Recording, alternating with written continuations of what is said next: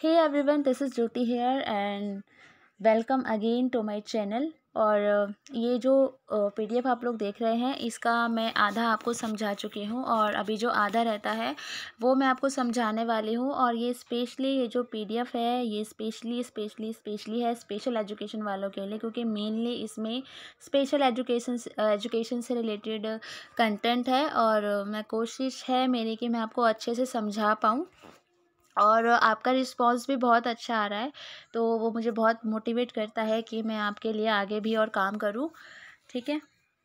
तो हमने जो किया था लास्ट वीडियो में जो मैराथन वन नाम से एक वीडियो है, आप लोग देख लेना, जिन्होंने नहीं देखी है, क्योंकि जब तक आप वो नहीं देखोगे तो आपको ये वीडियो समझ नहीं आएगी, ठीक है? तो हमने उसमें डिसकैलकुलिया तक पढ़ा था, आज हम बात करने वाले हैं एडीएचडी की। ठीक है? तो ध्यान, अभाव, अति क्रियाशीलता जो विकृति होती है, इसको हम एडीएचडी की फुल फॉर्म भी अक्सर एग्ज़ाम में पूछ ली जाती है। तो इसकी जो फुल फॉर्म है, attention deficit hyperactivity disorder इसको बोलते हैं और मोस्ट इंपॉर्टेंट है, पेपर में कई बार पूछी जाती है। तो इसे सामान्य भाषा में हम एडीएचडी कहते हैं। इसमें बच्चे आवेगों के नियंत्रण इनमें बच्चा ना आवेग जो होते हैं उसके, जो इम्पल्शंस होते हैं, उन पर काबू नहीं कर पाता, उन पर नियंत्रण की समस्या होती है उनको और उनका ना ध्यान केंद्रित नहीं हो पाता है। ठीक है? वो एक जगह पे कंसंट्रेट नहीं कर पाते हैं और इस वजह से वो क्लास में ना मतलब इनडिसिप्लिन क्रिएट करते हैं और उससे जो अगर आप बच्चे को पढ़ा रहे हैं टीचिंग में दिक्कत आती है टीचिंग में बाधा उत्पन्न होती है और अगर क्वेश्चन आता है कि एडीएचडी कैसा रोग है तो ये स्नायु तंत्र संबंधी विकृति है या रोग है और बहुत इंपॉर्टेंट क्वेश्चन है, ये पूछा जाता है। ठीक है तो जिसमें सामान्य स्तर का, असामान्य स्तर का ध्यान, आवेग तथा अति क्रियाशीलता सम्मिलित होती है, इसके अंदर ये बच्चे संवेगात संवेगात्मक रूप से अस्थिर होते हैं। मतलब इनका जो इमोशनली बैलेंस होता है, वो ठीक नहीं होता है, अस्थिर होते हैं। कभी पल में हंसना, रोना, गुस्सा करना, अब बिल्कुल एकदम अटेंशन पाने के लिए कुछ कुछ कुछ कुछ चीज़ें करना तो इस तरीके से ये बच्चे होते हैं। और प्राथमिक स्तर में अगर हम प्राइमरी लेवल की बात करें तो यह लड़कियों से ज़्यादा, लड़कों में ज़्यादा पाया जाता है एडी पीएचडी और यदि प्राथमिक स्तर के बच्चों पर हम इसका ठीक से मैनेज नहीं कर पाए, ठीक से इसको फाइंड आउट करके हमने डायग्नोज करके इसका उपचार नहीं किया हमने तो फिर ये आगे तक ये प्रॉब्लम जा सकती है बच्चे के। इस विकार के लिए जैविक कारक जिम्मेदार नहीं होते हैं, ठीक है? जो हमारे जो जैविक कारक होते हैं, वो इसके लिए जिम्मेदार नहीं होते हैं। तो बल्कि कुछ आहार संबंधी कारक, विशेष रूप से भोजन के रंग व जंक फ़ूड तथा दूसरी ओर सामाजिक मनोवैज्ञानिक कारण, जैसे घर का वातावरण, पारिवारिक विकृति, जिम्मेदार माने जाते हैं, ठीक है? तो इसके लिए जो है हमारे जैविक कारक इंपॉर्टेंट नहीं होते हैं। भोजन से रिलेटेड अगर कुछ दिक्कत है या भोजन में जो रंग वगैरह, जो केमिकल वगैरह होता है, जंक फ़ूड होते हैं, ये सब इसका कारण होते हैं। और इसके अलावा अगर घर का माहौल ऐसा है, घर में लड़ाई झगड़ा ज़्यादा है या कुछ भी प्रॉब्लम्स है घर में तो उससे भी बच्चे बच्चे के लिए एडीएचडी करने में ज़िम्मेदार होती है। तो एडीएचडी के लक्षण क्या है? आप किस तरीके से पहचानेंगे अपनी क्लास में एडीएचडी वाले बच्चे को? तो वो कही गई बात को अगर आप कुछ बात कह रहे हैं तो वो बच्चा पूरी नहीं सुनेगा। दूसरा है, अगर आप उसको कोई इंस्ट्रक्शन देंगे तो वो उसका पालन नहीं करेगा। आ, इसका एक एग्ज़ाम्पल देके समझाती हूँ। मेरी क्लास में भी एक लड़की है मतलब बात पूरी नहीं सुनती है और कुछ बोलो तो मतलब उसका ठीक से मतलब हर उसमें एक लक्षण है। तो वही है अभी मुझे पता है तो मैं धीरे धीरे काम करती हूँ डेली उसके ऊपर। तो यही चीज़ है कि अगर हमें पता होंगे कारण तभी हम उनके ऊपर काम कर पाएँगे अदरवाइज़ हम उनके ऊपर काम नहीं कर पाएँगे। और कार्य व खेल आदि में ध्यान की कमी होती है और सामान खो देते हैं, अपनी जो स्टेशनरी होती है। इसके अलावा भारी उत्तेजना का शीघ्र प्रभाव होता है, जैसे मान लो कोई चीज़ एकदम सडनली ऐसे आई तो वो शीघ्र मतलब प्रभाव पड़ता है उनके ऊपर, ठीक है? भारी उत्तेजना का। बाहरी उत्तेजना एक होती है इंटरनली होती है, एक बाहरी उत्तेजना, कोई बाहर से कोई कुछ बोले कि चलो हम खेलने चल रहे हैं। तो इस, वो शीघ्र प्रभाव पड़ेगा कि हाँ चलो चलो, हम खेलने चल रहे हैं। तो बाहर से अगर कोई उसे उत्तेजित करता है तो भूलने की समस्या इनके अंदर होती है और इन्हें ना सदैव मतलब बेचैनी सी बनी रहती है और ये हाथ पैर की उंगलियाँ चलाते रहते हैं और कक्षा में अलग अलग सीटों को चेंज करते हैं। ऐसे बच्चे आपने बहुत से देखे होंगे, लेकिन हम ऐसा भी नहीं मान सकते कि ये बच्चा ए डी से ग्रसित है। हमें बहुत बारीकी से उसको फाइंड आउट करना है कि नॉर्मली बच्चे सीटें बदलते हैं दोस्तों के पास बैठने के लिए तो ऐसा नहीं है कि वो बच्चा ए हो जाएगा, ठीक है? तो बहुत हमें पूरा ये, इनमें से कुछ चार पाँच लक्षण अगर किसी के अंदर है तो हम ये मान सकते हैं कि हाँ बच्चा ए से ग्रसित है। स्वचालित व्यवहार करना, अपने आप से कुछ व्यवहार करते हैं ये लोग और बहुत जल्दी जल्दी बात करते हैं और पहले सवाल शुरू होने से पहले ही उत्तर दे देते हैं। मतलब सॉरी, शुरू जवा क्वेश्चन जो है, वो पूरा होने से पहले ही आंसर कर देते हैं। और अपनी बारी का तो इंतज़ार कर ही नहीं पाते हैं, पहले मैं पहले मैं इस तरीके से। मतलब लाइन में भी पहले आगे लगेंगे, बीच में से ऐसे मार धाड़ करते हुए। और दूसरों की बात को सुनते ही सुनते ही नहीं है और बीच में ही काट देते हैं। तो ये ए के लक्षण हैं। अब इसमें आप उपचार कैसे कर सकते हैं इसको, ठीक है? तो यह सूत्र प्रयोग किया जाना चाहिए। एक यहाँ पे सूत्र है जो कि विराम लें, ठीक है, थोड़ा ठहरें, चिंतन करें और कार्य करें। तो इसमें ये एक सूत्र कार्य करता है स्टॉप थिंक एंड एक्शन ठीक है स्टॉप मतलब आप पहले रुक जाइए दो मिनट, एकदम ही विचार मत कर लीजिए कि हाँ भाई ये ये बच्चा ए डी एच डी से पहले रुकिए। चिंतन कीजिए कि हाँ इसके अंदर कौन कौन से लक्षण हैं? एक आधे लक्षण से आप नहीं फाइंड आउट कर सकते कि बच्चा एडीएचडी से ग्रसित है। और जब आपको लगे कि आप चिंतन कर लें, आपको बिल्कुल कन्फर्म हो जाए देन उसके बाद आप कोई एक्शन ले सकते हैं। दूसरा है एकाग्रता समय एकाग्रता समय के साथ साथ मेल बैठाने के लिए, एक कार्य को पूरा करने के लिए आवंटित समय को घटाना और चरणबद्ध तरीके से, ठीक है? तो इसमें यही है, अगर बच्चे को आप कोई काम दे रहे हैं तो उसको घटाते जाओ टाइम को। जैसे मान लो बच्चा है, धीरे काम करता है क्लास में वो तो हमने बोला कि एक घंटे में काम, फिर हमने उसे चार, पचास मिनट किया, फिर चालीस मिनट तो हमने जो उसे काम दिया, उसको धीरे धीरे हमें कम करना है, ताकि बच्चा एकाग्रता मतलब ला पाए, ठीक है? वो जो एकाग्रता मतलब और बच्चों के साथ वो तालमेल उस चीज़ का बिठा पाए। तीसरा है शिक्षक के निकट ही इसके बैठने की व्यवस्था की जाए जो कि नॉर्मली मैं भी, मेरी क्लास में कुछ बच्चे हैं जो, जिनको मतलब स्पेशल अटेंशन की ज़रूरत है, मैं उनको बिल्कुल, मेरे डेस्क के तीनों तरफ़ मैंने डेस्केज लगाए हुए हैं तो वहाँ मैं उनको बैठाती हूँ। और उसमें भी एक इंटेलिजेंट बच्चा है, जो उसको समय समय पर गाइड करता है। इस तरीके से मैंने जो सीटिंग अरेंजमेंट है अपनी क्लास में किया हुआ है, और आप लोग भी जो जिनमें जो टीचर्स हैं, अभी जो वीडियो देख रहे हैं, वो लोग भी इसे फॉलो कर सकते हैं या जो बनेंगे it just a kind of suggestion from my side okay जो फोर्थ है, वो है खिड़की व द्वार से दूर बैठाया, क्योंकि अगर देखो खिड़की और दरवाजे के पास बैठाओगे तो इनका ध्यान बाहर ही रहेगा तो इन्हें कोशिश कीजिए कि अपने आसपास ही बैठाएँ और काम करने के लिए इन्हें अधिक से अधिक समय दें, क्योंकि हड़बड़ी में तो ये घर कुछ कर ही नहीं पाएँगे, बहुत जल्दी मतलब पता नहीं क्या कर देते हैं। ठीक है? तो स्टार्टिंग में हमें करना है, काम करने के लिए थोड़ा सा टाइम देना है धीरे धीरे हमें उस टाइम को कम करना है। और उनसे सीधे सपाट प्रश्न पूछो, ऐसा नहीं है, पूरा हम घुमा फिरा के इनसे क्वेश्चन पूछे, सीधे क्वेश्चन पूछो, ठीक है? आगे है पुनर्बलन देना। पुनर्बलन मतलब होता है री करना। जैसे बच्चे ने अच्छा काम कर रहे वेरी गुड वाह, बेटा, बहुत अच्छा आप तो पहले से अच्छा कर रहे हो, इस तरीके से हमें बच्चे को बोलना है। इसके बाद है रिटलिन नामक दवा एकाग्रता में वृद्धि करती है, लेकिन विकार को ठीक नहीं कर पाती। एक दवा भी होती है रिटलिन नामक तो ये कंसंट्रेशन पावर को बढ़ाती है, लेकिन ये पूरी तरीके से एडीएचडी को कम नहीं कर सकती है, ठीक है? अनुपयुक्त व्यवहार पर ध्यान देना। तो बच्चा अगर कुछ अलग से बिहेवियर कर रहा है तो हमें उस पर ध्यान करके उसे तुरंत करेक्ट करवाना है। हमारा जो ये नेक्स्ट पॉइंट है, वो है सकारात्मक व्यवहार के लिए प्रोत्साहित करना, कि बच्चे को हमें पॉजिटिव बिहेवियर के लिए मोटिवेट करना है, प्रोत्साहित करना है। ठीक है? होप आपको ये जो लर्निंग डिसेबिलिटी है लर्निंग डिसेबिलिटीज़ है, वो यहाँ तक समझ आ गई होगी। अब हम बात करते हैं मोस्ट इंपॉर्टेंट जो हमारा आगे है। ये है विकलांगों के लिए पारित किए गए विभिन्न अधिनियम। कुछ एक्ट्स है विकलांगों के लिए तो मोस्ट इंपॉर्टेंट है तो प्लीज़ आप लोग ध्यान से पढ़ना इसको। तो पहला है हमारा मानसिक स्वास्थ्य अधिनियम। मेंटल हेल्थ एक्ट 1987 क्वेश्चन ये भी पूछा जा सकता है कि जो मेंटल हेल्थ एक्ट है, वो कब बना था या 1987 में कौन सा एक्ट बना था? तो ये आपको पता होना चाहिए।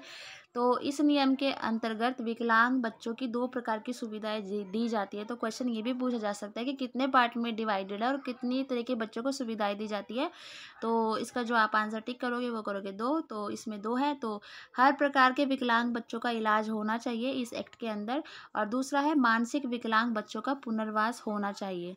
ठीक है? तो मानसिक बच्चों का इसमें क्या है कि पुनर्वास भी यहाँ पर होना चाहिए। उसके बाद है हमारा सेकंड भारतीय पुनर्वास परिषद अधिनियम, ठीक है?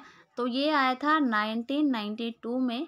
तो इसमें क्या हुआ था कि आरसीआई की स्थापना की गई तो इसके अंदर आरसीआई की स्थापना की गई थी, जो पेशेवर व्यक्ति विकलांगों के पुनर्वास के लिए कार्य करेंगे, उन्हें प्रशिक्षण की सुविधाएँ दी जाएँगी, ठीक है?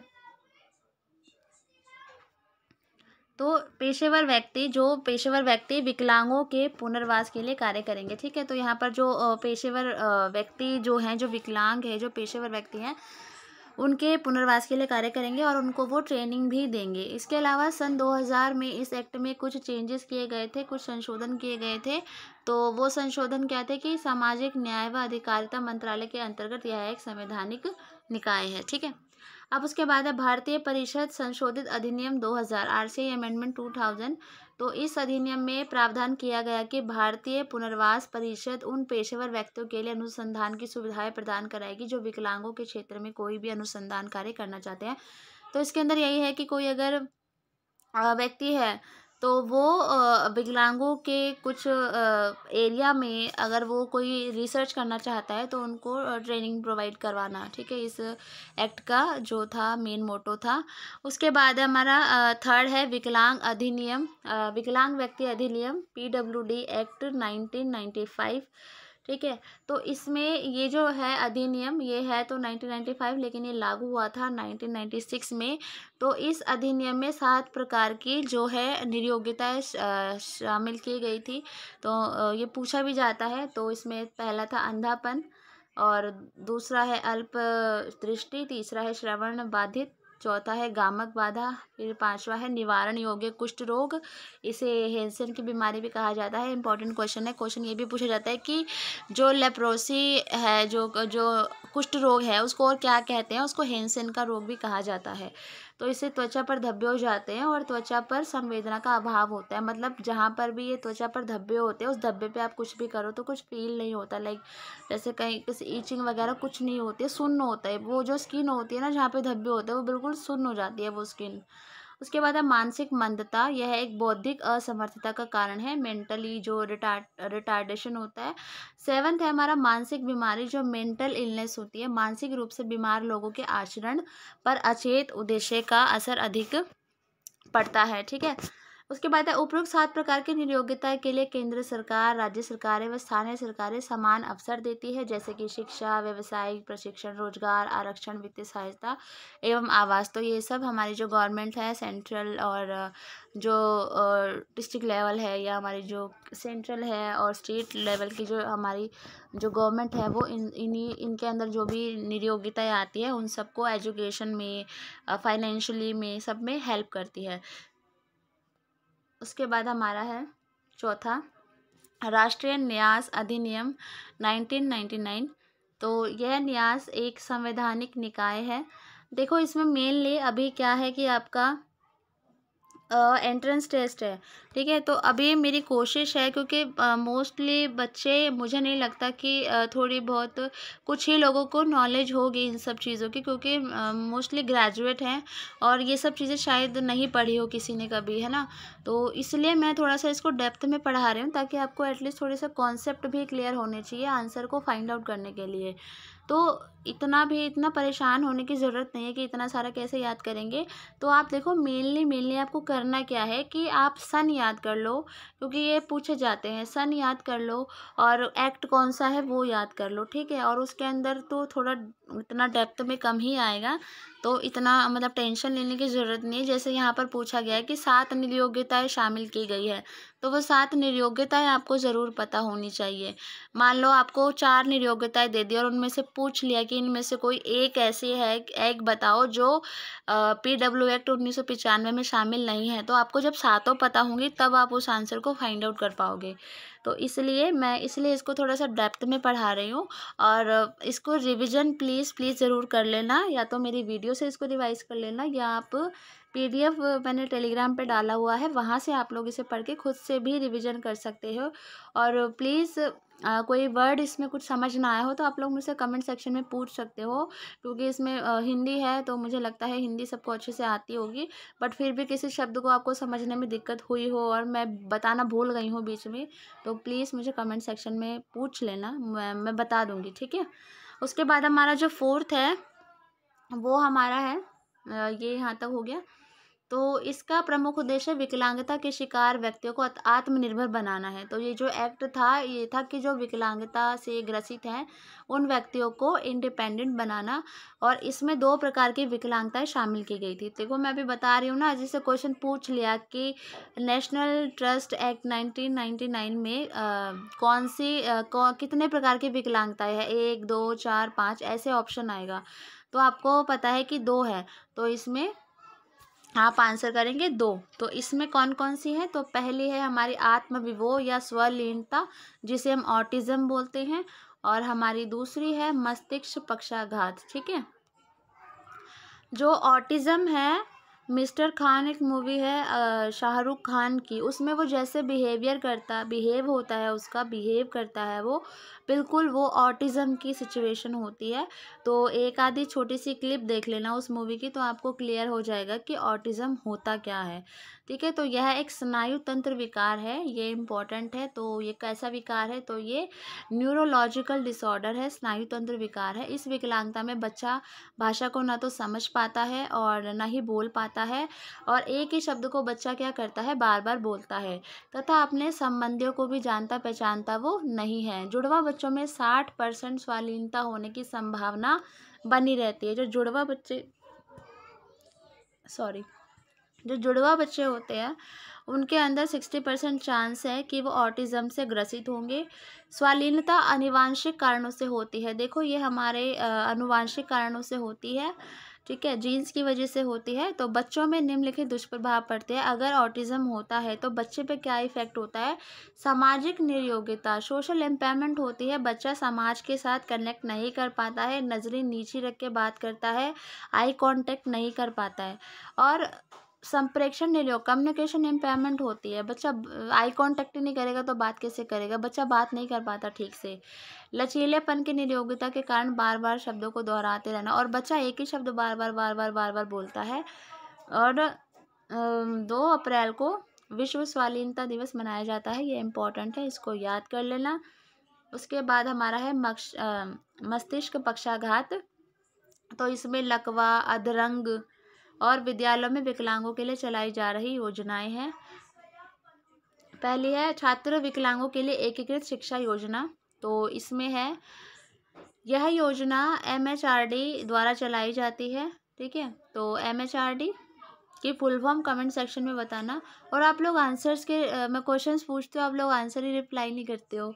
तो करना चाहिए, मैंने बोला था ना कि इंटरेक्शन बना रहता है। एक आधे क्वेश्चन के आंसर लिख दिया करो कमेंट में, जो क्वेश्चंस पूछती हूँ बीच में। तो एम एच आर टी की फुल फॉर्म बताना मुझे, ठीक है?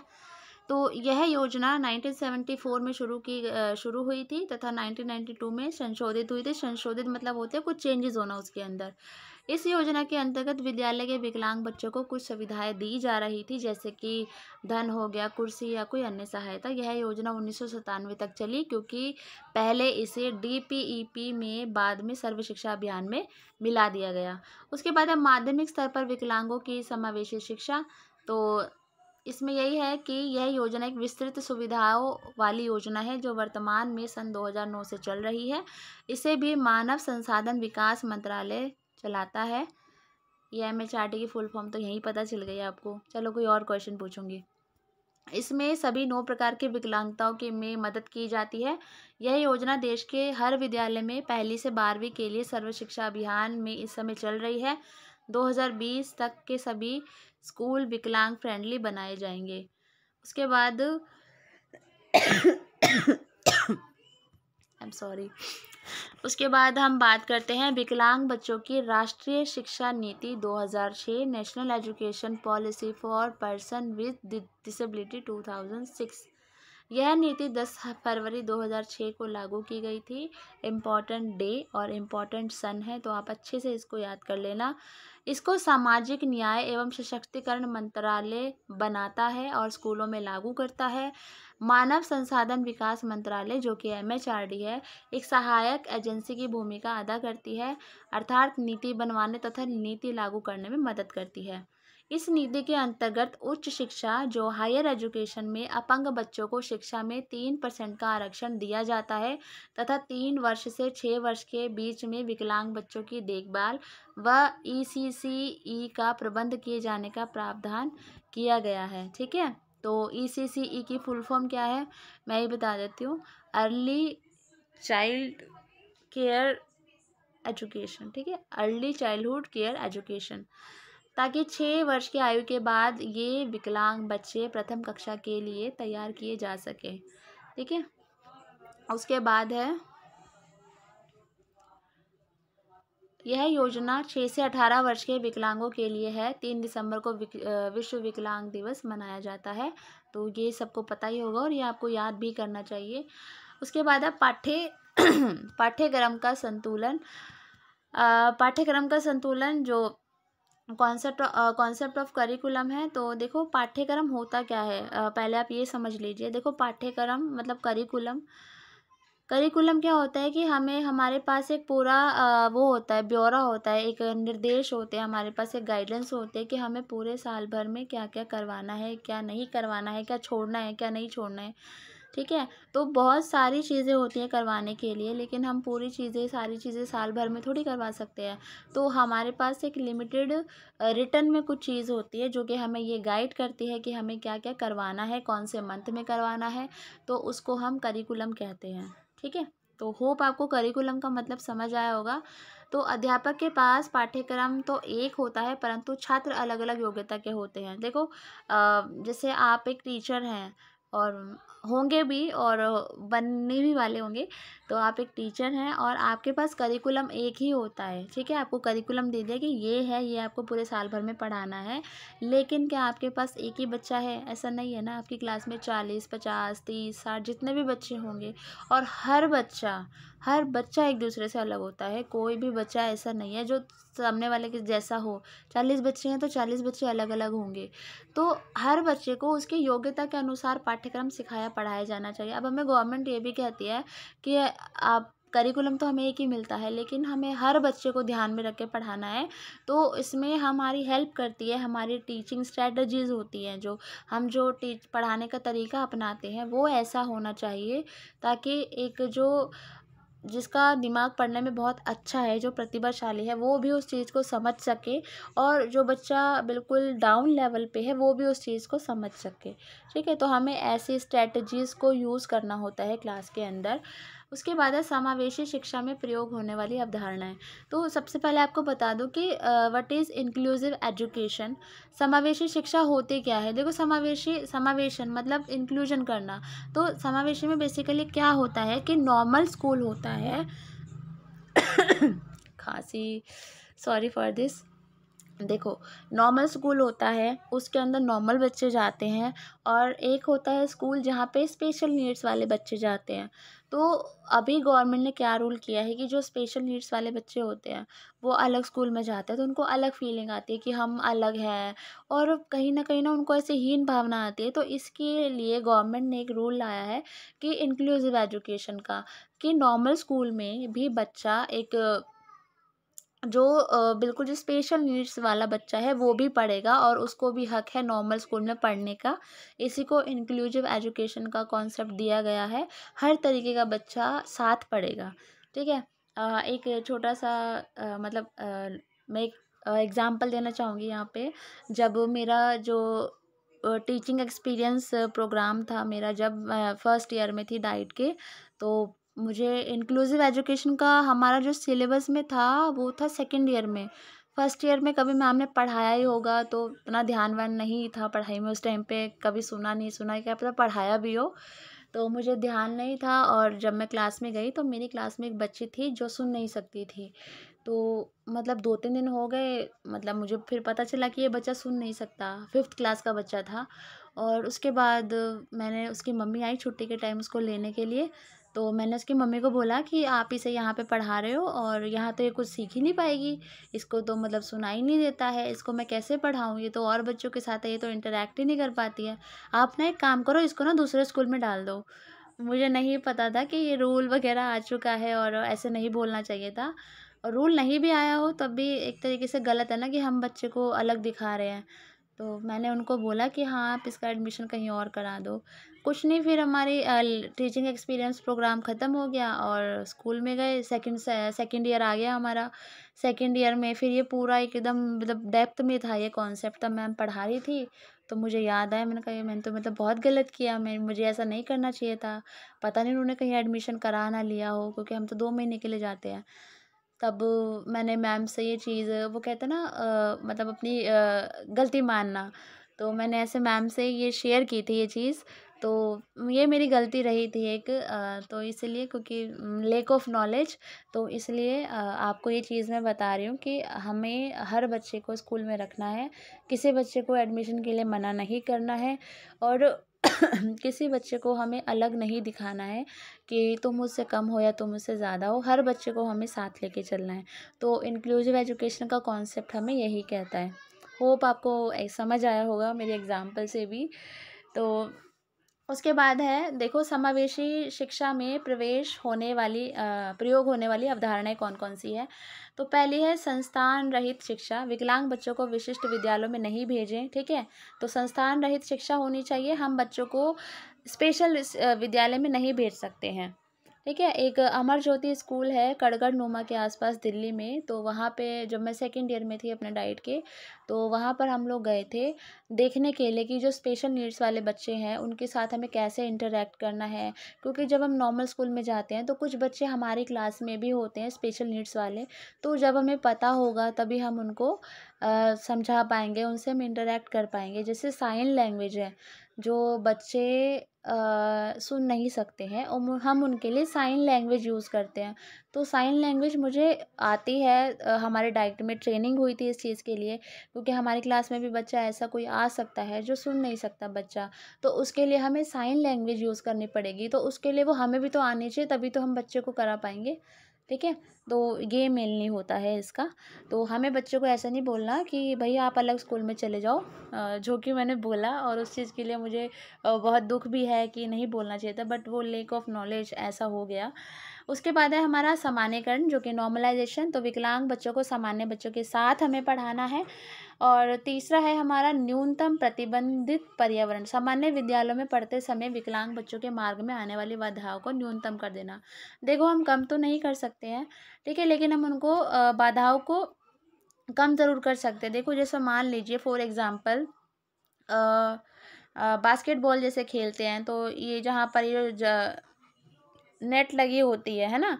तो जैसे मान लो कोई बच्चा चल नहीं सकता है तो वो कैसे इसमें बास्केटबॉल नेट में डालेगा? तो हम ये जो नेट है, इसको हम थोड़ा नीचे कर सकते हैं? है ना? तो समझ गए ना? तो हमें जो स्पेशल नीड्स वाले बच्चे हैं, उनके लिए जो बाधाएँ आती है, उनको थोड़ा सा कम कर देना है, क्योंकि पूरी तो हम भी नहीं मिटा सकते हैं। तो जितना हो सके उनके लिए कम करना है, उनको ऐसा इन्वायरमेंट देना है कि वो बिल्कुल भी अलग ना समझे और बिल्कुल नॉर्मल बच्चों की तरह वो भी पढ़ सके, ठीक है? उसके बाद है मुख्य धारा तो सभी विकलांग बच्चे अपने आप को सामान्य बच्चों के जैसे ही समझें। ठीक है, बिल्कुल भी अलग नहीं समझना है। उसके बाद हम बात करते हैं बुद्धि लब्धि आईक्यू के आधार पर मानसिक विकलांग बच्चों के प्रकार। आईक्यू ठीक है तो नर्सिंग केयर जो बिल्कुल नर्सिंग केयर की ज़रूरत होती है तो इसमें बुद्धि लब्धि ज़ीरो से पच्चीस होती है। ये कुछ भी सीख पाने में असमर्थ होते हैं। बिल्कुल नर्सिंग केयर इनको चाहिए होती है और इनको हमेशा किसी न किसी दूसरे व्यक्ति की ज़रूरत होती है। उसके बाद है ट्रेनेबल यानी प्रशिक्षणीय तो इनका जो आई क्यू होता है, ठीक है, जो इंटेलिजेंट क्वेश्चन होता है। वो पच्चीस से पचास होता है। इसको बहुत कम प्रशिक्षित किया जा सकता है। थोड़ी बहुत ट्रेनिंग हम दे सकते हैं और कभी कभी इनको देखभाल की ज़रूरत पड़ सकती है। तीसरा है हमारा शिक्षणीय यानी एजुकेबल तो इनका जो आईक्यू होता है वो पचास से पिचहत्तर होता है और इनको हम कुछ सीमा तक पढ़ा भी सकते हैं। ठीक है? चौथा है, हमारा नियमित रूप से शिक्षण योग्य, जो नॉर्मली रेगुलरली एजुकेबल है, इनका जो आईक्यू होता है, वो पिचहत्तर से नब्बे होता है और इनको सामान्य बच्चों की तरह हम अपनी क्लास में पढ़ा सकते हैं, ठीक है? तो ये आप आईक्यू याद कर लेना कि कौन से नंबर पे आईक्यू कितना होता है। जैसे कोई नर्सिंग केयर वाला की आईक्यू आईक्यू कितनी होती है तो ये थोड़ा सा आप लोग याद कर लेना। उसके बाद है ये एक छोटा सा नोट दिया हुआ है कि मनोवैज्ञानिक की राय में जिन बच्चों का आई क्यू ज़ीरो से साठ तक होती है, वह सामान्य बच्चों वाली कक्षाओं में नहीं पढ़ाए जा सकते, अतः उन्हें अलग कक्षाओं में प्रशिक्षित किया जाना चाहिए। ऐसा मानना है और देखो जो जैसे हम लोग सामान्य हम हम स्कूल में पढ़ाते हैं तो ऐसा नहीं है कि अगर आप नॉर्मल टीचर हैं और आपकी क्लास में कोई स्पेशल नीड वाला बच्चा देखो आप पढ़ाओगे तो सही उसको, लेकिन अगर ज़्यादा ही बच्चा स्पेशल नीड्स है उसको तो जो भी स्पेशल एजुकेशन का कोर्स कर रहे हैं, वो उनको पढ़ाते हैं, ठीक है? तो उनको एक अलग से सेपरेट रूम मिलता है, उनको सारी फैसिलिटीज़ मिलती है और फिर वो अलग से उन बच्चों को पढ़ाते हैं। ठीक है, बच्चा आपके क्लास में आएगा, आप अटेंडेंस वगैरह लेंगे और हफ़्ते में तीन दिन या दो दिन जो जितने दिन भी वो स्पेशल एजुकेशन वाला टीचर होता है, वो उन्हें अलग से क्लास देता है, बाकी नॉर्मली आप भी उन्हें पढ़ाते हैं, ठीक है? उसके बाद है भारत में विकलांगों के लिए काम करने वाले संस्थान। तो भारत में जो विकलांग बच्चे हैं या लोग हैं, उनके लिए काम करने वाले संस्थान कौन कौन से हैं? कौन कौन से इंस्टीट्यूशंस हैं? तो प्लीज़ इनकी फुल फॉर्म्स भी आप लोग याद कर लेना। तो पहला है दृष्टि बाधितों के लिए राष्ट्रीय संस्थान, जो कि देहरादून में है, ठीक है? तो एन आई वी एच तो national institute for visually handicapped इस संस्थान में भारतीय ब्रेल का विकास किया है। 1971 में नेत्रहीनों के अध्यापकों के प्रशिक्षण हेतु तो दिल्ली, मुंबई, कोलकाता और मद्रास में अध्यापक प्रशिक्षण केंद्र है कि जो जो टीचर्स जो विजुअली इम्पेयर लोगों के लिए काम करना चाहते हैं तो उनके लिए ट्रेनिंग देता है और इसके जो सेंटर्स हैं, टीचिंग सेंटर्स हैं, कोचिंग के ट्रेनिंग के लिए तो दिल्ली, मुंबई, कोलकाता और मद्रास में है। ठीक है? और इसके अलावा हमारा है, सेकंड है जो अली यावर जंग बधिर राष्ट्रीय उद्यान ये मतलब जो बहरे लोग होते हैं, उनके लिए काम करता है। बधिर विद्यालय हैदराबाद, आंध्र प्रदेश, ये पूछ सकते हैं कहाँ पर है तो थोड़ा थोड़ा सा एक बार देख लेना।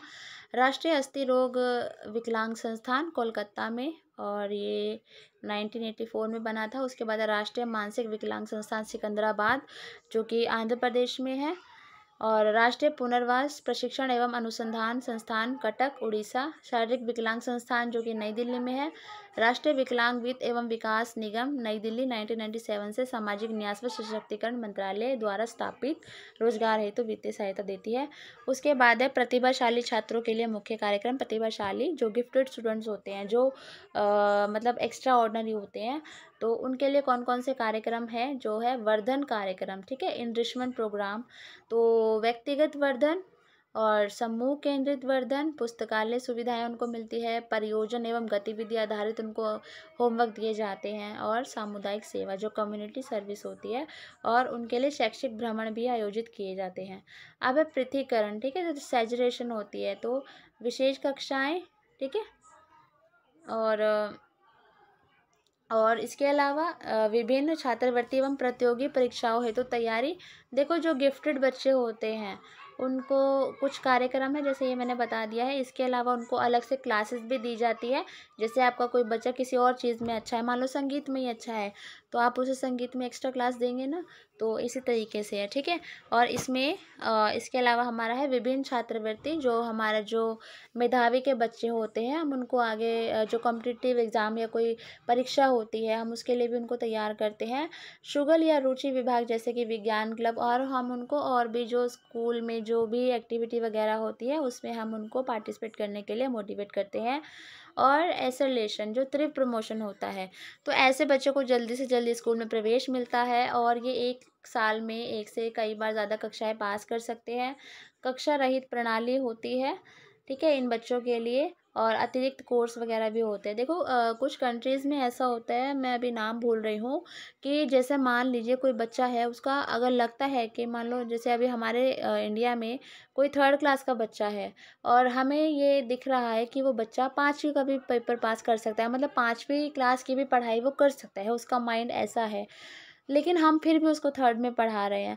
लेकिन आ, कुछ कंट्रीज़ हैं जहाँ पर बच्चे के अंदर हमें लगता है कि एबिलिटी है कि वो वहाँ का पढ़ सकते हैं तो हम उसे आगे भेज देते हैं। क्योंकि जो बच्चे को जो बिल्कुल गॉड गिफ्टेड होते हैं जो एक्स्ट्रा ऑर्डनरी होते हैं वो बोर हो जाते हैं क्योंकि वो चीज़ें उन्हें आती है फटाफट करके। तो ठीक है तो ऐसा कुछ कंट्रीज़ में होता है देखते हैं अभी इंडिया में आएगा कि नहीं ऐसा कुछ रूल इंडिया में तो अभी तक नहीं है। ठीक है उसके बाद है नोट दिया हुआ है, ये तो छोड़ो, इसका तो कुछ इतना कुछ खास काम नहीं है। अभी हमारे हैं कुछ महत्वपूर्ण तथ्य तो ये अभी हम लोग पढ़ेंगे, ठीक है?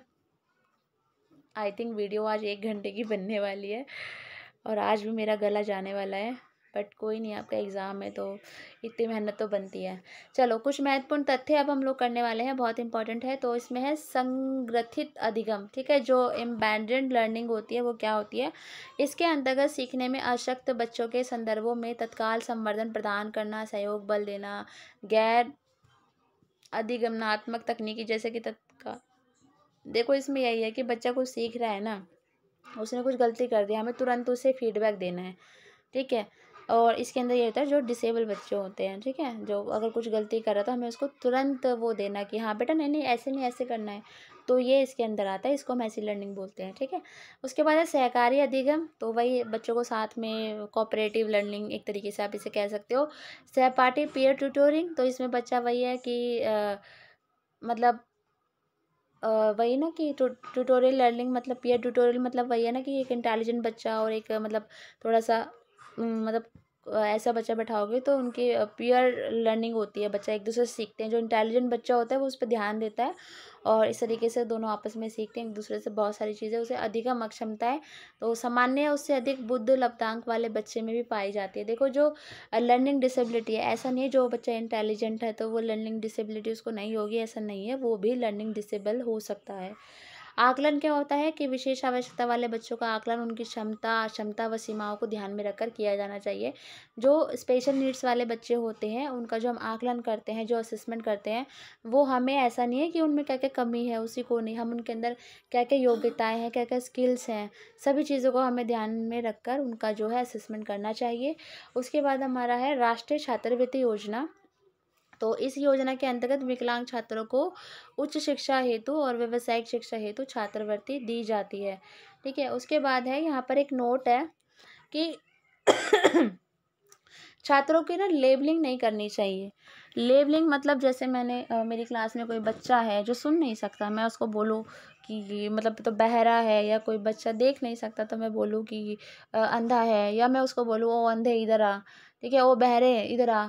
या, ए, बहरी, इधर आ, तेरे को दिखाई नहीं देता। कुछ इस तरीके से मतलब हमें लेबलिंग नहीं करनी है, जो कि बहुत गलत है।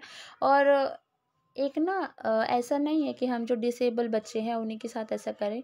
और नॉर्मल स्कूल में भी होता है, कोई बच्चा बहुत मोटा है, वो डिसेबल नहीं है, लेकिन फिर भी, ये रे, मोटे इधर आ तो तो मोटी है तो बिल्कुल किसी तरीके से हमें उसके लेबल नहीं करना बच्चे को, ठीक है? कोई पतला, मोटा, लंबा, छोटा, नाटा जैसा भी है, उसके नाम से उसको बोलिए, ठीक है? बींग अ टीचर हमारे अंदर ये चीज़ होनी चाहिए कि हम बच्चे की लेबलिंग ना करें, ठीक है? तो यही है इसके अंदर, उसके बाद है हमारा जिला प्राथमिक शिक्षा कार्यक्रम तो डी पी ई पी तो फुल फॉर्म इसकी पूछ ली जाती है। डिस्ट्रिक्ट प्राइमरी एजुकेशन प्रोग्राम यह कार्यक्रम देश के अति पिछड़े डेढ़ सौ से अधिक जिलों में विकलांग लड़कों व लड़कियों की, लड़कियों व अनुसूचित जाति व जनजाति बच्चों व उनके निवास स्थान के निकट प्राथमिक शिक्षा उपलब्ध करवाता है। यह 1994 में शुरू हुआ था। ये पूछा भी जाता है कि कब शुरू हुआ था तो ये 1994 में शुरू हुआ था। अब मोस्ट इंपॉर्टेंट जो फैक्ट्स हैं वो हम पढ़ने वाले हैं। तो डिसलेक्सिया, मैंने बता दिया है आपको, डिसलेक्सिया बताया था ना कि पठन निर्योगिता अथवा पठन वैकल्य है, जैसे कि डी को बी पढ़ना, सौ को वॉस पढ़ना, एम को डब्लू पढ़ना और डेक्स डिसलेक्सिया में क्या होता है कि मस्तिष्क के दोनों गोलार्थ ठीक से काम नहीं करते हैं। डिसग्राफिया ग्राफ करने से रिलेटेड है, मैंने बताया था कि राइटिंग प्रॉब्लम है, spelling handwriting and organizing ideas. Dyscalculia मैंने मैथ से रिलेटेड बताया था।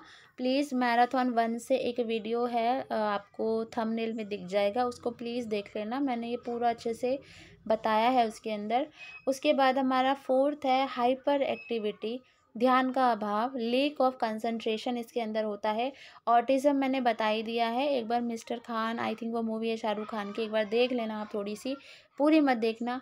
एक आधी क्लिप देख लेना कोई छोटी सी तो उससे आपको आइडिया हो जाएगा कि किस तरीके से ऑटिज़म से बच्चा पीड़ित होता है। अब अब बात करते हैं डिस्प्रेक्सिया डिस्प्रेक्सिया में क्या होता है? यह ज्ञानेन्द्रीय एकीकरण अक्षमता है। ठीक है, जिसके कारण बच्चा हाथ व आँखों में समन्वय नहीं रख पाता।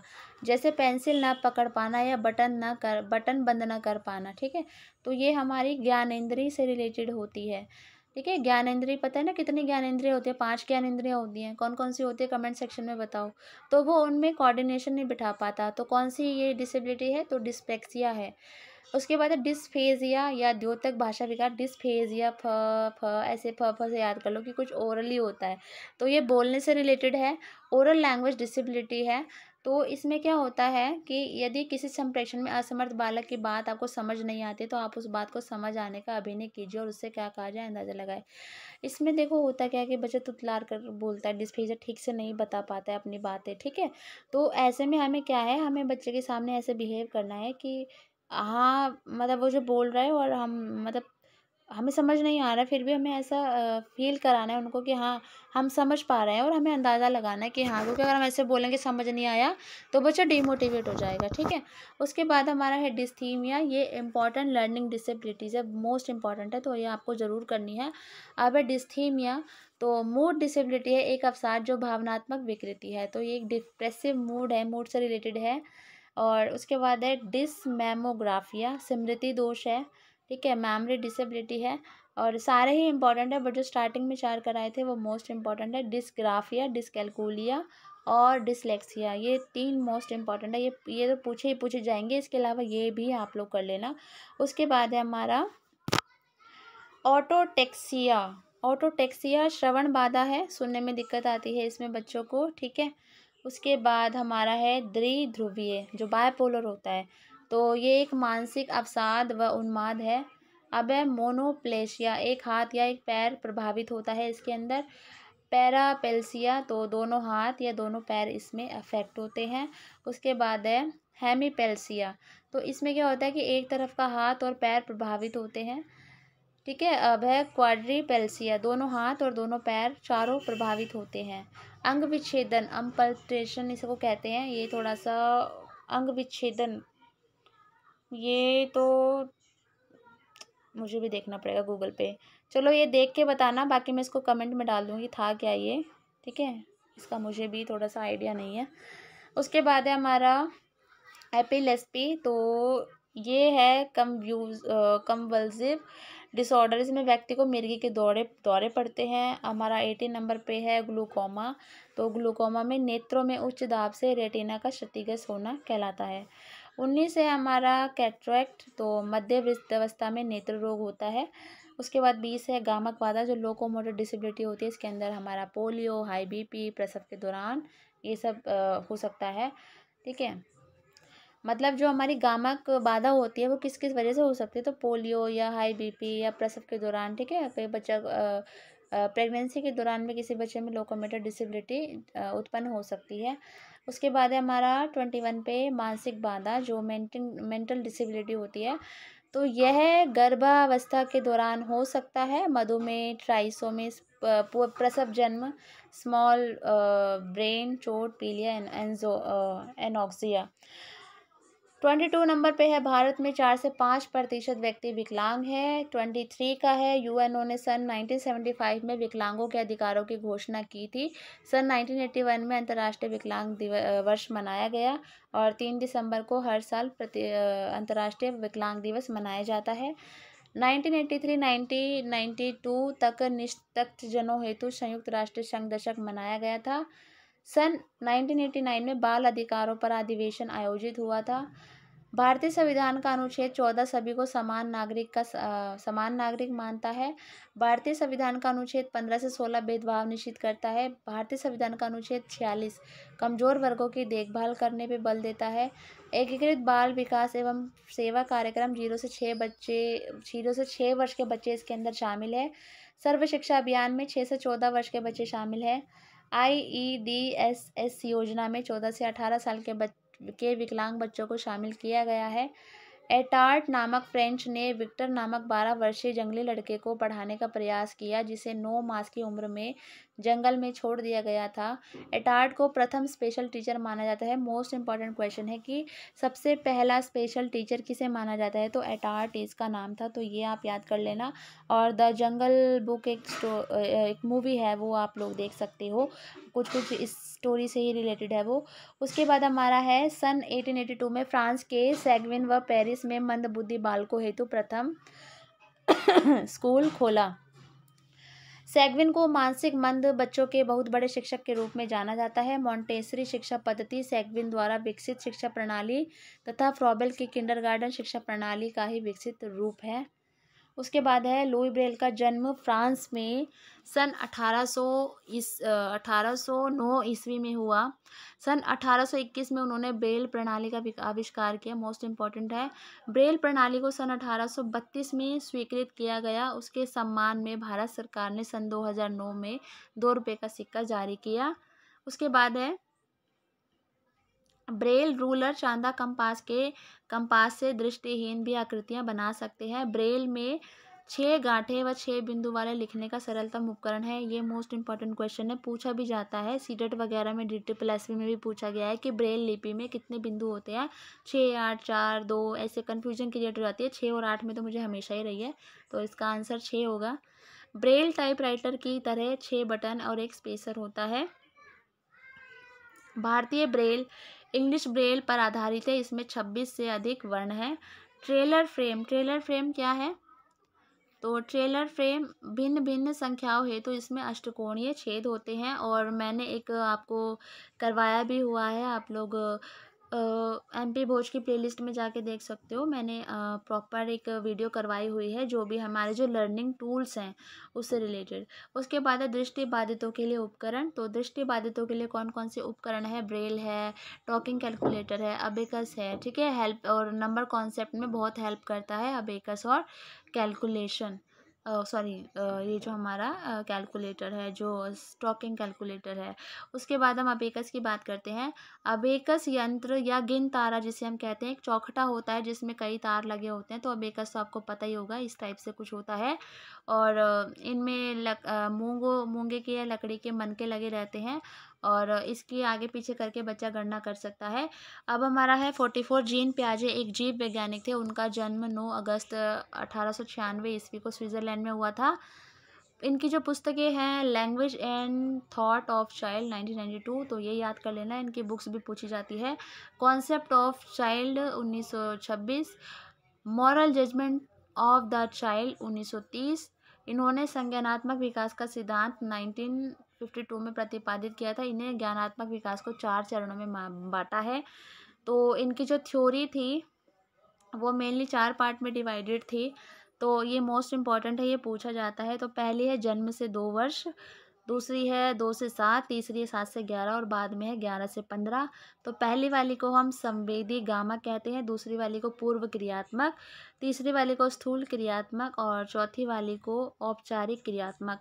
ये प्याजे की थ्योरी बहुत इंपॉर्टेंट भी है और बहुत कन्फ्यूजिंग भी है। तो इसकी थ्योरी मैं एक बार अच्छे से समझाऊँगी, अभी आपका एग्ज़ाम निकल जाए, आगे इन फ्यूचर आपको इसकी ज़रूरत पड़े, क्योंकि प्याजे के क्वेश्चन पूछे ही पूछे जाते हैं। तो अभी तो आप इनके सिर्फ़ लेवल याद कर लीजिए। और बाद में कभी मैं डेप्थ में वीडियो बनाऊँगी तो प्लीज़ उसको देख लेना, उससे आपको क्लियर हो जाएगी इसकी थ्योरी। उसके बाद है, अनुकूलन को प्याजे बुद्धिमता कहते हैं, ठीक है, जो एडजस्टमेंट होती है उसको प्याजे का मानना है कि वो बुद्धिमता है। उसके बाद हमारा है,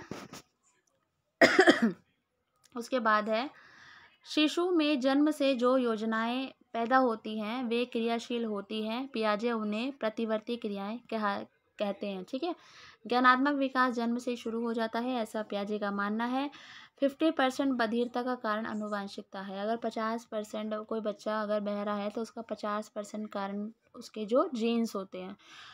ऑडियोमीटर एक ऐसी मशीन है जिसमें श्रवण अक्षमता की जाँच की जाती है। विशिष्ट विद्यालय जो स्पेशल स्कूल होते हैं, वो आठ किलोमीटर की परिधि में होने चाहिए, ठीक है? Microphone sound energy converted in electronic energy तो ये साउंड एनर्जी को इलेक्ट्रॉनिक एनर्जी में कन्वर्ट करता है।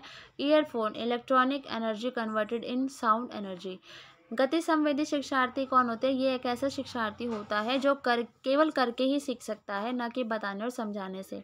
तो अगर गति संवेदी शिक्षार्थी कैसे होते हैं तो ये आप बता सकते हो कि ये बोलने और समझाने से नहीं करते कोई काम, ये खुद से करके सीखते हैं, ठीक है?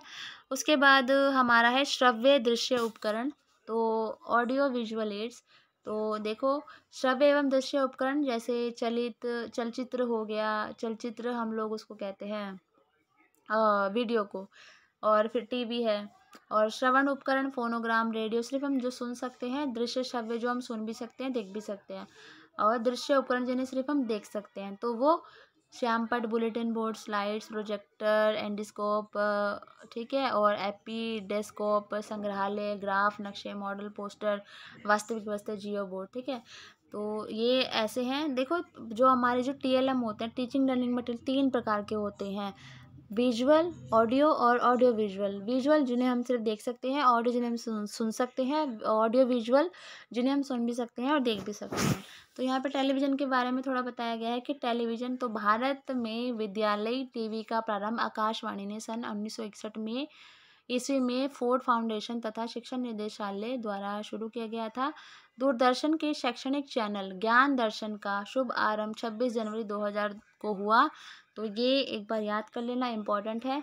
सूचना एवं प्रसारण मंत्रालय द्वारा उन्नीस सौ बयासी में राष्ट्रीय सैटेलाइट इनसेट की स्थापना की और 20 सितंबर सन 2004 को EDUSAT satellite N C E R T व इग्नू व इसरो द्वारा मिलकर स्थापित किया गया, जिसकी सहायता से दूरदर्शन पर ज्ञान दर्शन चैनल 24 घंटे शैक्षिक कार्यक्रम प्रस्तुत करता है। फ़िल्म। फ़िल्म में क्या होता है? गतिशीलता अतिथि घटनाओं को पढ़ाने में एनसीईआरटी के पास 16 किलोमीटर की लंबी फ़िल्में हैं, लंबी फ़िल्में हैं। ठीक है, एनसीईआरटी की स्थापना कब हुई थी? कमेंट सेक्शन में बताना मुझे। अब है फ़िल्म पट्टियाँ। फ़िल्म पट्टी हम पिक्चर्स को बोलते हैं, ठीक है? जो पिक्चर्स होती हैं। और चलचित्र हम वीडियो को बोलते हैं। फ़िल्म पट्टी होती है, आविष्कार इसका 1920 के आसपास हुआ था द्वितीय विश्व युद्ध के दौरान। दो प्रकार की थी, मूक और सवाक, ठीक है? उसके बाद है टैप रिकॉर्डर तो टैप रिकॉर्डर 1900 में डेनमार्क के पोलसेन ने तार में तार से टैप रिकॉर्डर बनाया। अमेरिका ने उसमें सुधार किया तथा जर्मनी ने द्वितीय विश्व युद्ध के दौरान टेप्रिकेटर का प्रयोग किया, जिसमें प्लास्टिक का क्या होता था? फीता होता था, ठीक है? उसके बाद हमारा है बुलेटिन बोर्ड। तो बुलेटिन बोर्ड इसमें हम काफ़ी सारी चीज़ें हम इसे पेस्ट करते हैं। कुछ हमें आ, कोई नई जानकारी देनी हो इस तरीके से स्कूल में बुलेटिन बोर्ड लगे भी रहते हैं। चलचित्र चलचित्र जो हमारे गति प्रदान करते हैं चलचित्र मैंने बता बताया था कि मोशन पिक्चर्स या वीडियो टाइप आप इसे कह सकते हैं। तो इसमें पाठ का प्रस्तुतिकरण शुरू से अंत तक किया जा सकता है। तो पीपीटी टाइप आप इसे सोच सकते हो ठीक है? लाइक पीपीटी होती है ना उसमें वो चलचित्र होता है वो चलता रहता है। रेडियो है, रेडियो आपको पता ही है कि हम सुन सकते हैं, कोई भी अपनी खबर वगैरह हो गई है। ग्रामोफोन क्या होता है? रिकॉर्ड तैयार करके छात्रों को सुनाया जाता है ग्रामोफोन और अमेरिका के मिनासोटा राज्य में तीन हज़ार से ज़्यादा स्कूलों में इससे शिक्षण होता है। लिंगवा फ़ोन क्या होता है? मोस्ट इंपॉर्टेंट है।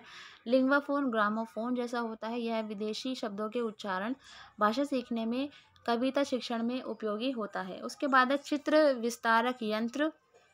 तो चित्र विस्तारक यंत्र चित्र को बड़ा करके इसमें देखा जा सकता है। उसके बाद है हमारा चित्रदीप। तो चित्रदीप में क्या होता है कि ये मैजिक लालटेन लालटेन है। स्लाइड का प्रतिबंध दिखाने में प्रयोग किया जाता है। प्रोजेक्टर आपको पता ही है। फ्लैन फ्लैनल बोर्ड, लकड़ी के बोर्ड पर फ्लैनल चढ़ा होता है। चित्र को ड्राइंग पिन से दबाकर लगाया जाता है, आपको पता ही होगा। संग्रहालय आपको पता है, म्यूज़ियम वगैरह और स्ट्रियोग्राफ क्या होता है? चौड़ाई, लंबाई व मोटाई दिखाई जाती है इसमें और जैसे इमारत, मीनार गुंबद आदि दिखाया जाता है। उसके बाद है, विद्यालय प्रदर्शनी। तो आपके क्लास में, स्कूल में, जोनल लेवल पे, सेंट्रल लेवल पे, स्टेट लेवल पे, इंटर स्टेट लेवल पे, नेशनल, इंटरनेशनल स्टेट पर जो होती है एग्जीबिशंस लगाई जाती हैं। जियो बोर्ड, इस बोर्ड में समान दूरी पर कीले होती हैं, जैसे ये बोर्ड होता है, इसमें कीले लगी होती है, इसे समान दूरी पर। तो अध्यापक रबड़ बैंड की सहायता से रेखा गणित का ज्ञान उत्तम तरीके से दे सकता है। इसमें रेखा गणित की द्विविमीय आकृतियों का ज्ञान कराया जाता है, ठीक है? जैसे ये जियो बोर्ड है और यहाँ पर ये बिंदु लगी हुई है तो रबड़ बैंड से मान लो टीचर ने ऐसे एक शेप बना देगा, ठीक है? रबड़ बैंड से किलो को, किलो में अटकाते हुए, ठीक है? तो इस तरीके से इसमें द्विव्यामी उसका कॉन्सेप्ट बच्चों को क्लियर हो सकता है। उसके बाद है हमारा दृश्य श्रव्य सामग्री की उपयोगिता क्या है? तो इससे छात्रों, इसके द्वारा छात्रों को इंद्र अनुभव प्रदान किए जाते हैं। देखो, अगर हम ऑडियो विजुअल एड का प्रयोग करते हैं तो इंद्र अनुभव बच्चा उस चीज़ को फील करता है, उस चीज़ को समझता है अच्छे से। उसके बाद है, यह सामग्री प्रत्यक्ष अनुभव के लिए पूर्व देखो हर जगह जाना पॉसिबल नहीं होता है ना? ताजमहल अगर हमें बच्चों को ताजमहल के बारे में बताना अगर हम ताजमहल का मॉडल दिखा देंगे तो बच्चा एक रियल अनुभव ले पाएगा उससे। हम भले ही नहीं लेकर जा सकते उसको वहाँ पर लेकिन वो उसको फ़ील कर पाएगा कि हाँ ताजमहल ऐसा है, बिल्कुल ऐसा दिखता होगा, ठीक है? उसके बाद हमारा इसके प्रयोग से छात्रों को ज्ञान प्राप्ति के लिए प्रेरित किया जाता है, बच्चा मोटिवेट होता है। अगर आप क्लास में कुछ यूज़ करते हैं ना पढ़ाने के लिए तो बच्चा बहुत मोटिवेट होता है। चौथा है, यह सामग्री पिछड़े हुए बालकों को शिक्षा देने के लिए बहुत उपयोगी जो भी आपकी क्लास में जो पिछड़े बच्चे हैं, जो पढ़ने में थोड़े से वीक हैं तो उनको ये बहुत हेल्प करता है। लास्ट है हमारा सबसे प्रमुख लाभ यह है कि इसके द्वारा प्रभाव उत्पादक वातावरण वातावरण उत्पन्न किया जाता है, जिससे छात्र ज्ञानेंद्रिय अनुभव प्राप्त करता है और नवीन बातों को आसानी से वो ग्रहण कर लेता है। ठीक है? होप आपको मेरा गला आज तो बिल्कुल गया। कंटिन्यू एक घंटे से बोल रही हूँ और पानी पीनी पिया है बीच में और तब होप आपको समझ आया होगा और मेरी कोशिश रही है पूरी पूरी कि मैं आपको अच्छे से समझा सकूँ। और प्लीज़ प्लीज़ अगर आपको मेरी मेहनत अच्छी लगती है, मैं मेहनत करती हूँ आप लोगों के लिए कि आपका एग्ज़ाम निकल जाए, क्योंकि मॉक टेस्ट को मैंने बीच में छोड़ भी दी थी तैयारी करवानी, मुझे लगा कि मॉक टेस्ट आएगा, उससे हम लोग कुछ हेल्प ले लेंगे कि आइडिया लग जाएगा कि किस लेवल का आता है, फिर मैं फटाफट से करा दूँगी। बट मॉक टेस्ट का मतलब मैं क्या ही बताऊँ अब? क्या ही लेवल हम उससे, क्या क्या हम लोग उससे आइडिया लें। तो इसलिए अब मुझे ऐसे मतलब फटाफट से ऐसा कंटेंट सारा उठा के मुझे ऐसे फटाफट से करवाना पड़ रहा है मैराथन के हिसाब से कि आपका जल्दी से आपका जो है क्लियर हो जाए एग्ज़ाम बाकी तो देखते हैं क्या है। बाकी जो भी आपका एक्सपीरियंस हो एग्ज़ाम देने का प्लीज़ शेयर ज़रूर कीजिएगा। और प्लीज़ नए हो तो सब्सक्राइब कर लेना। और वीडियो अच्छी लगी, मेरी मेहनत अच्छी लगी तो प्लीज़ लाइक कर देना। और शेयर ज़रूर कर देना। ठीक है? Thank you